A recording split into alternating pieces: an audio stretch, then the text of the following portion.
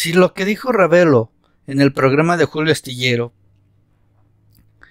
recientemente es cierto, entonces las cosas en cuanto a seguridad, en cuanto a la violencia, se van a poner peor. ¿A qué me refiero?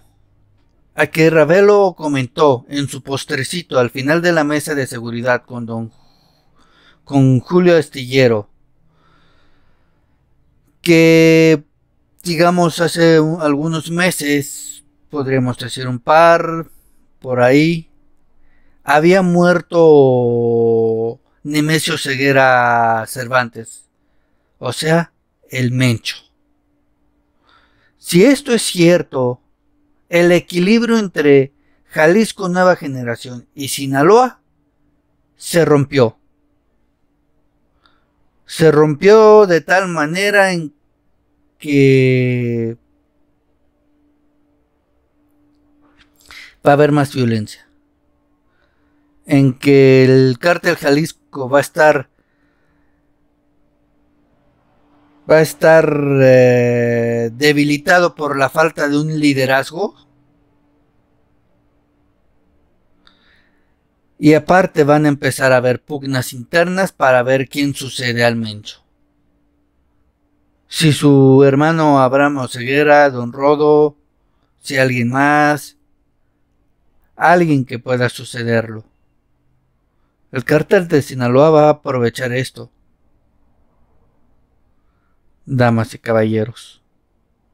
Prepárense que va a haber mucha más violencia.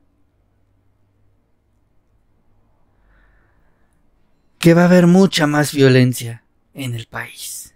Esto se va a poner peor. Y no sé si esto sea un sálvense quien pueda. Digo, si esto lo que le comentó la gente de la DEA Ravelo es cierto, damas y caballeros, es momento de ponerse a temblar. Porque a pesar de todo, había un equilibrio. Y si uno de los dos desaparecía, ya sea el Mayo o el Mencho, ese equilibrio se va a perder. Y si se pierde dicho equilibrio, ya se jodió la cosa. Ya se jodió el asunto. Damas y caballeros, ay, hasta me estoy poniendo a temblar. ¿Qué es lo que piensan? ¿Qué opinan?